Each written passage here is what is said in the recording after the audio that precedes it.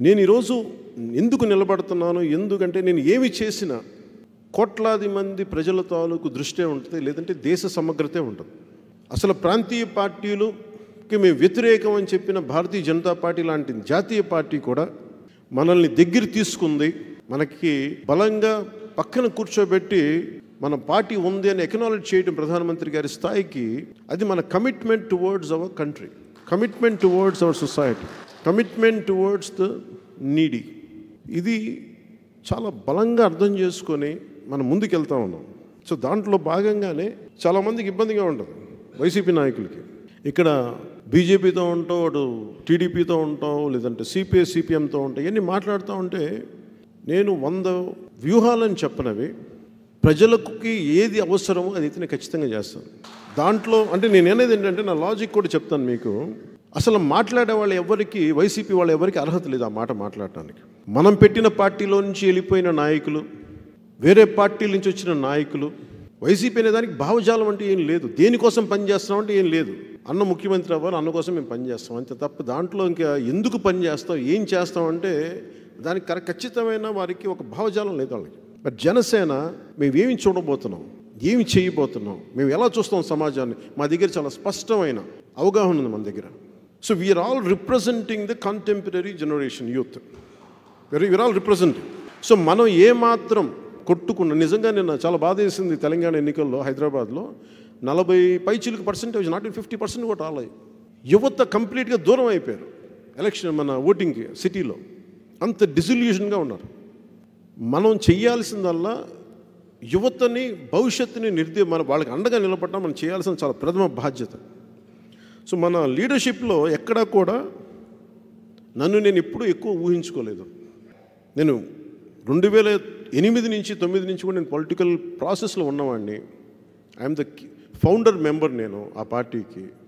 ఏ రోజు కూడా నేను పదవి కోరుకుల.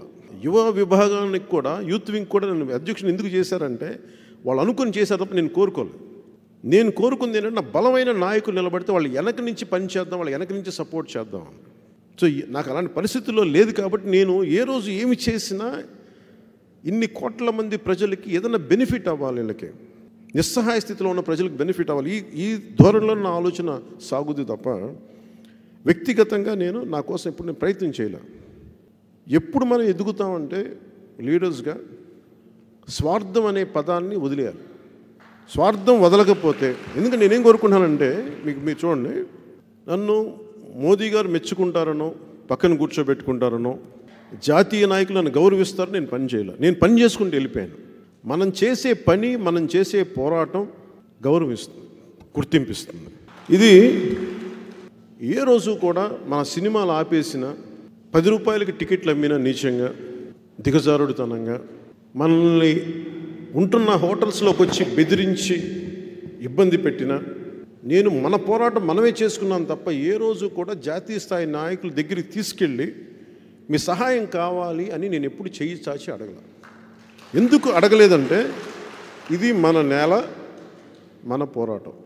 ఏదన్నా కుదిరితే మన వాళ్ళకి బలం అవ్వాలి కానీ ఎందుకంటే మనం బలం చూపించకపోతే వాళ్ళు గుర్తింపు ఇవ్వరు. వాళ్ళు కూడా తక్కువ వ్యక్తులు కదా అందరూ పోరాటాలు చేసి వచ్చిన వాళ్ళే అందువల్ల పోరాటం చేసే వాళ్ళని వాళ్ళు గౌరవిస్తారు గుర్తిస్తారు. నేను కూడా చాలామందిని మీ అందరిని పేరు పేరుని నేను గౌరవిస్తాను. నేను మీ అందరి నుంచి కోరుకునేది కూడా నేను ఏమి ప్లాన్ చేసినా కొన్ని కోట్లాది మంది సమూహాన్ని దృష్టిలో పెట్టుకొనే నేను ఒక ఆలోచన ఉంటుంది ఒక నిర్ణయం ఉంటుంది తప్ప అది కూడా ప్రజల నుంచి దగ్గర తీసుకున్న నిర్ణయం నేను ఊహించుకున్న నిర్ణయం నేను చేయను. ఈ రోజున టీడీపీ జన మన జనసేన పార్టీ కలిసి వెళ్ళడానికి కూడా అలయన్స్ నేను నిర్ణయించలా. ముఖ్యంగా లోకల్ బాడీస్లో అందరూ కలిసి పనిచేయటం జనసేన టీడీపీ కలిసి పనిచేయడం నాకు చాలా దృష్టికి వచ్చి నన్ను చాలామంది నాయకులు అడిగారు మీరు మీరు చెప్పారా ఎందుకు ఇలా చేస్తున్నారంటే నాకు తర్వాత అన్ని రిపోర్ట్ తెప్పించుకుని అర్థమవుతుంది. మేము ఈ మూడో ఇక్కడ ఉన్న వ్యక్తిని ఈ వైసీపీ నాయకులు తట్టుకోవడానికి మేము కలిసి పనిచేయాల్సి వస్తుంది మాకు వేరే దారి లేదు. లేదు మేము బతకలేకపోతాం ఈ ఊళ్ళలో. సో అలా అంచెలంచెలంచెలుగా ఎదిగి ఇక్కడ దాకా వచ్చి ఇంక ఏ స్థాయికి వెళ్ళిపోయిందంటే పొలిటికల్ ప్రాసెస్లో ప్రత్యర్థి బతకాలి డెమోక్రసీలో ప్రత్యర్థి బతకాలి. ఎదురు తిరుగుతామని చంపేస్తామంటే కుదరదట్లా. ఒక చిన్నపాటి సోషల్ మీడియా పోస్ట్ పెడితే బెదిరించేస్తారు. యూట్యూబర్స్ని బెదిరిస్తారు. ఒపీనియన్ ఎవడు చెప్పకూడదు. తెలుగు చిత్ర సినిమాలే మెగాస్టార్ని బెదిరించేస్తారు వీళ్ళు. తమిళనాడు సూపర్ స్టార్స్ని బెదిరించేస్తారు. అంటే అంత వీళ్ళకి ఎవరిని మాట పడవు వీళ్ళు ఒక్క మాట అనకూడదు వీళ్ళని అలాంటిది ఎవరిని మెచ్చుకోకూడదు ఎవరి వీళ్ళని అనకూడదు. ఇలాంటి దాష్టికంతో ఉన్న ఈ వైసీపీ పాలనకి చరమాంకం పలకాలి. రెండు వేల ఇరవై ఒకటిలో మనం తీసుకున్న నిర్ణయం వైసీపీ వ్యతిరేక ఓటుని చీలనివ్వం. ఇది చాలా ఇబ్బందికరమైన మాట అది.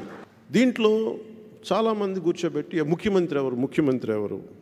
నన్ను ఎమ్మెల్యేగానే గెలిపించలేదు. ఆ మాట ఎవరికి అర్హత ఉంటుందని నాకు ఓటేసి వేసిన వ్యక్తులు ఉన్నారు కదా వాళ్ళు అడిగితే నేను గౌరవిస్తాను అన్నమాట ఓటు వేయని వ్యక్తులందరూ కూర్చొని నువ్వు ముఖ్యమంత్రి అయితే మేము చేస్తామంటే నేను నిలబడినప్పుడు ఎవరు నుంచోలేదు? ఈరోజు కూర్చొని నువ్వేంటి నాకు చెప్తావు అని అనిపిస్తుంది నాకు లోపల. ఆ మాట చెప్పకండి. నేను చాలా పర్సనల్ గేమ్ నేను ఆడట్లేదు ఇక్కడ. నేను చాలా స్పష్టంగా ఉన్నాను. నేను పర్సనల్ గేమ్ ఆడట్లేదు. మీ అందరూ మర్చిపోయారేమో? నేను మర్చిపోను. ఒక అవమానం జరిగిన ఒక దెబ్బ పడ్డ నేను మర్చిపోను. కాకపోతే అది నేను వ్యక్తిగతంగా తీసుకొని నా గురించి అయితే మరి నేను వదిలేసి వెళ్ళిపోతానేమో కానీ ముందుకి నా నాకు జరిగిన అవమానాన్ని. కానీ సమాజానికి జరిగిన దెబ్బను మటుకు నేను మర్చిపోను. ఆంధ్రప్రదేశ్ విభజన జరిగిన తర్వాత ఒక్కరు కూడా ఆ రోజున కూర్చోబెట్టి మాకు ఏం రావాలి ఏం కావాలని కొద్దిమంది హ్యాండ్ఫుల్ ఆఫ్ పీపుల్ అడిగినా ఆంధ్రప్రదేశ్కి ఏం తెచ్చుకోలేకపోయాం. మన ఆంధ్రులు అనే భావన లేదు మనకి.